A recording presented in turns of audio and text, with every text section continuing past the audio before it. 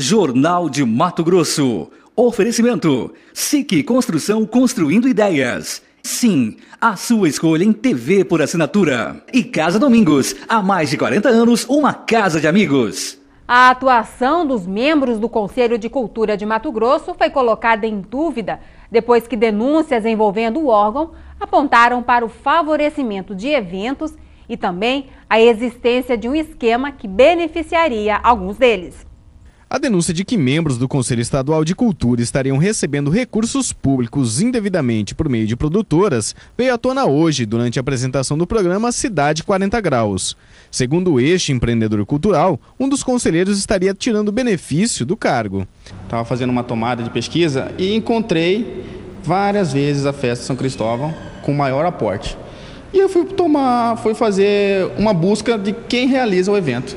Realmente é uma igreja é um frei. E aí quando eu vi a logo da empresa do Johnny Everson, aí me surgiu a pulga atrás da orelha. Não estou aqui afirmando, Hugo, que, que o Johnny ganhou dinheiro com isso, ou fez tráfico de influência, ou nada disso. Não estou afirmando. Eu escrevi um artigo no qual vou publicar, cópia desse artigo está com o secretário, e essa documentação vai para o Ministério Público Estadual, vai para a Secretaria de Estado de Cultura, vai para o próprio Conselho, bem como a ONG Moral.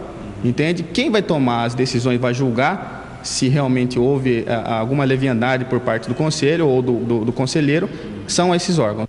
Johnny Everson chegou a presidir o Conselho Estadual de Cultura, órgão responsável pela aprovação de projetos culturais em Mato Grosso. Fere de morte o princípio da equidade da isonomia. Temos outros, outros, outras empresas de eventos que fazem o mesmo papel e que não teriam o mesmo, o mesmo acesso já o conselheiro afirma que a participação na festa é voluntária e que nunca recebeu recursos da Secretaria Estadual de Cultura. Eu sou um dos artistas que, ao invés de cantar, que eu não tenho feito isso nos últimos anos, em face ao, ao, ao tempo escasso, eu ajudo a organizar chamar os artistas para vir cantar no evento, organizar o horário de apresentação dentro do evento. Quem mora no Cochipó, quem mora em Cuiabá, em Mato Grosso, já foi na festa, já deve ter me visto muito lá, em meio à poeira e à correria e carregando fios e cabos, como um voluntário do evento. E eu já forneci shows de artistas que são da minha empresa. Alguns artistas que são do meu casting, eu forneci, prestei serviço, só que isso foi patrocinado pelas empresas da iniciativa privada e não pelo recurso do Estado. A denúncia refere-se também à utilização de laranjas para viabilização de projetos para os conselheiros, que seriam os reais beneficiários do esquema. Desses projetos foram falados aqui, foram aprovados em 2009, a liberação foi feita em 2010. Até porque tem todo um rito processual entre edital, recebimento e votação. A partir daí é votado e é liberado de acordo com o cronograma de execução dos projetos. Nós não tínhamos, entendeu? Nenhuma informação com relação à denúncia, dizendo em nenhum momento, quando eu fui secretário e antes, quando era secretário de junta, recebi nenhuma denúncia.